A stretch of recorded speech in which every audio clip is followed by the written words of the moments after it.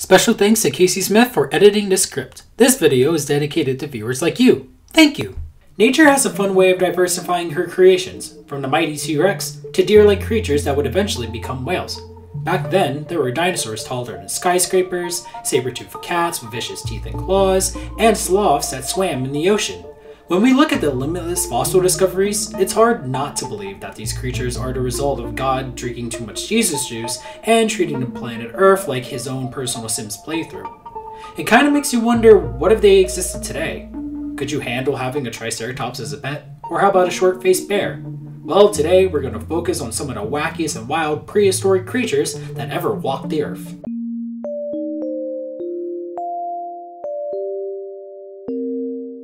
Number 10 Ammonites. Ammonites were marine animals that were closely related to squids, cuttlefish, and octopi. The earliest species appeared during the Devonian period, and the last of their kind vanished with the dinosaurs in the late Cretaceous period. What made them so OP was their rapid evolution and widespread distribution, allowing them to free swim the waters for over 343 million years. To put that into perspective, they've endured three huge extinction events and still did their own thing. Their most recognizable feature are their diverse shells, which range from ice cream cone to ram's horn to eldritch monstrosity. They most likely use jet propulsion, expelling water through a funnel type opening to propel themselves like moderate day cephalopods. In terms of their size, they range from a size of a penny to 4 foot in diameter. The largest ammonite found so far is Parapos.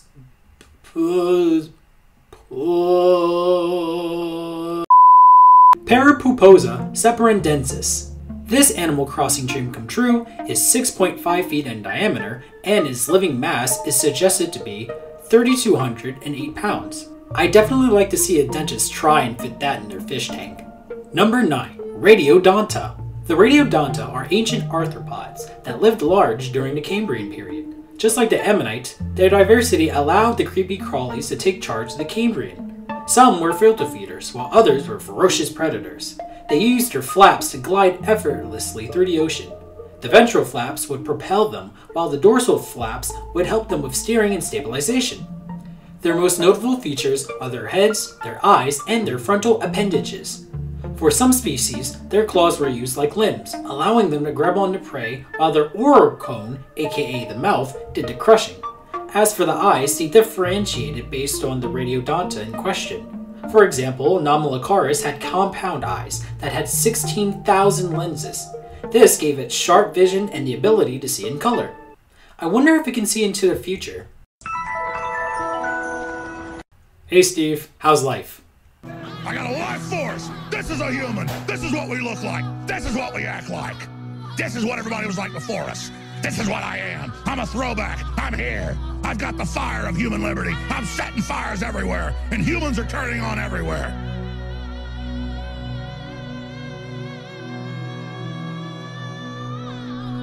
Hi, welcome to Chili's. I. I've seen some stuff, man. Horrible things. There was smoke, and fire, and. The internet? Like, what the heck is the internet? Steve, I. I, I think you need to calm down. You weren't there, man! You weren't there.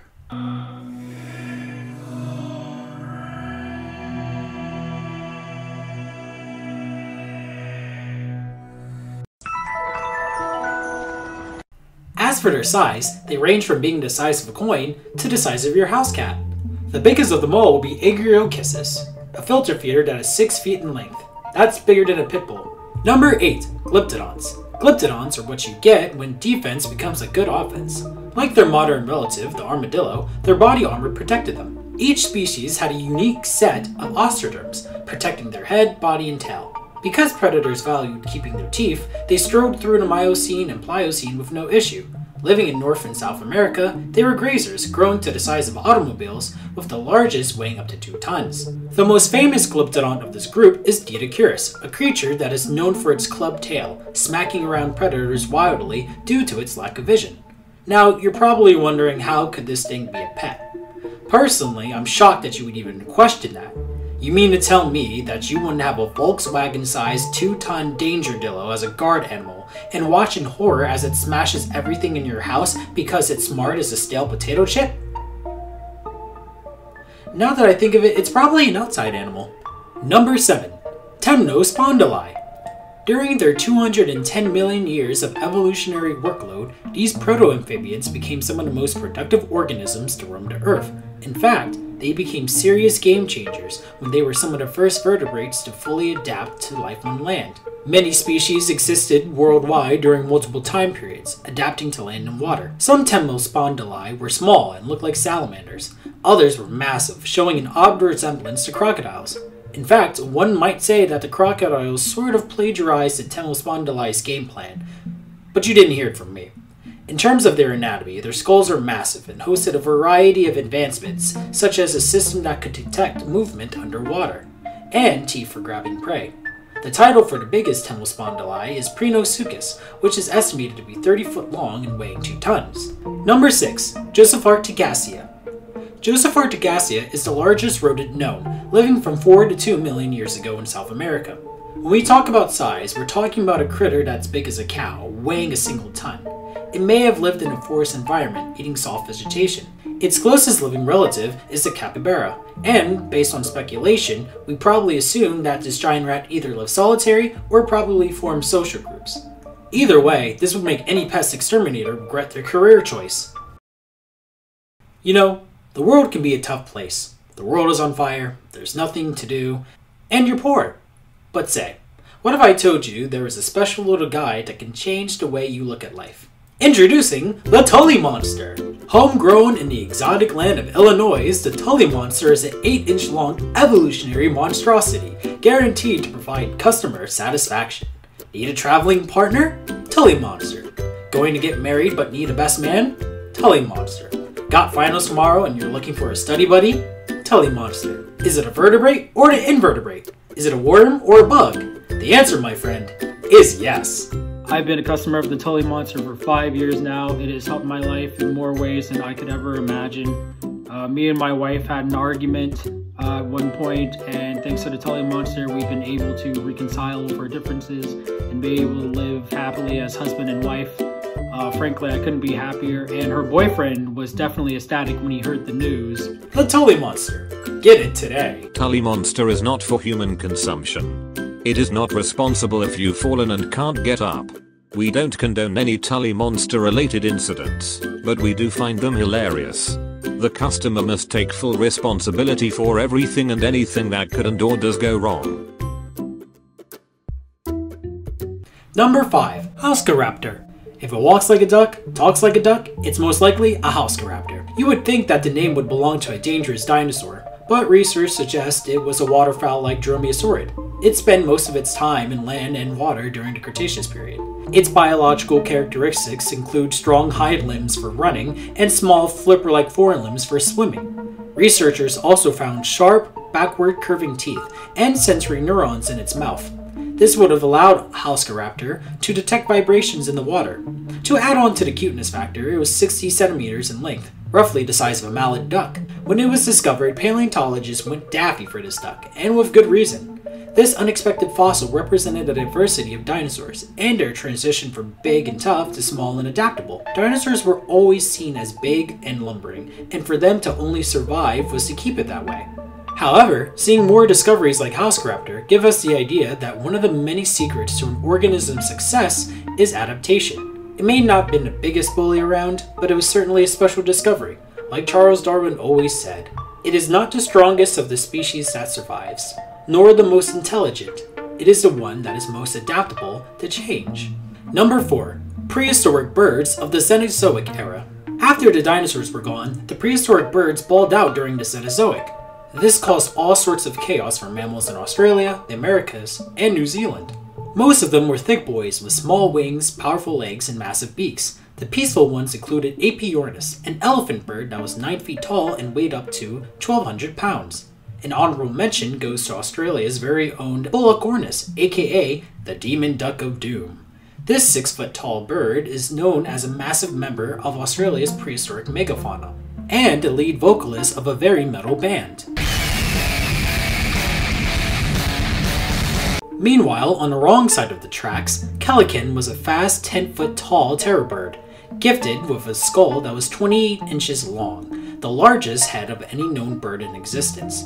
Argentavis and Pelagornis were the largest flying birds to ever exist, armed with massive wings that would allow it to soar in the skies like a biplane. If I were to pick between the two as a pet, I'd probably go with the one without teeth. Speaking of teeth, number 3, Borophaginae. If you ever felt bad about your dog destroying your furniture while you were out, there once was a time where bone crushing dogs called the shots for 33.5 million years in North America. An extinct species of dogs, called the Borophaginae, went from raccoon sized omnivores to powerful carnivores the size of bears. Archaeocyon was the earliest known Borophaginae and spent most of its time as an opportunistic eater. Eventually, it would evolve to become a bigger bone crusher, complete with stout teeth, massive cheek teeth, and powerful jaws. This in turn would help it crack open the bones of its prey. One of the most famous bone crushers is Epicyon, who would go on to have a massive head, weigh around 300 pounds, and reach 5 feet in length. However, this would be their end. Modern canines were slender marathon runners, outcompeting the bigger, heavier, and slower bone crushers.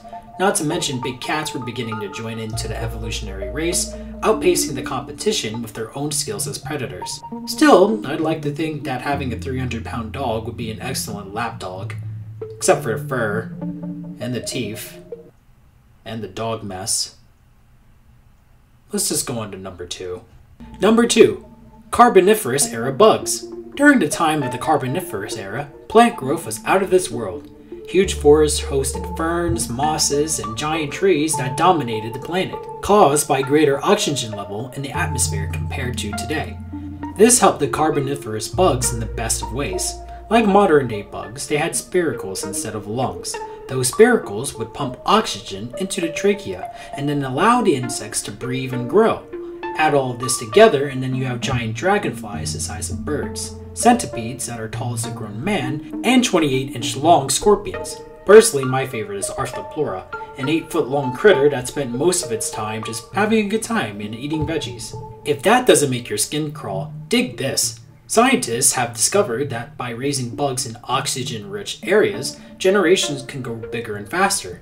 While it does suck to know that we'll never get to experience the Shaquille O'Neal of bugs, we should think of it this way would you rather have 10 quintillion small bugs or 10 quintillion bugs the size of your dog? Number 1. Proboscidians. The ancestors of today's elephants were some of the biggest and oddest creatures ever to walk the earth since the time of the dinosaurs. Like all mammals of the past, the elephant family, or Proboscidians, started off small before going on the wild roller coaster that is evolution. So far, over 180 extinct members have been discovered in every continent apart from Australia and Antarctica. Thanks to the high rate of speciation, the proboscidians were able to dominate and experience different evolutionary trends. For instance, woolly mammoths specialized in keeping warm during winters, thanks to their ability to store fat, a thick winter coat, and a feature that helped improve oxygen delivery around the body to prevent freezing. Another example would be Platybelodon, a very special creature that uses its shovel tusks to strip bark from trees in swamps, lakes, and rivers. Finally, we have Paleoloxodon namadicus, which could possibly be the biggest land animal to ever walk the earth at 17.1 feet tall and 23.4 tons. It specialized in being a very big boy, requiring massive amounts of food to support its metabolism.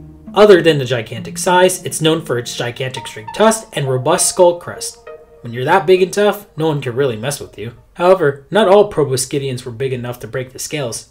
For instance, the dwarf elephants of the Mediterranean Sea decided to switch sizes in a response to limited resources.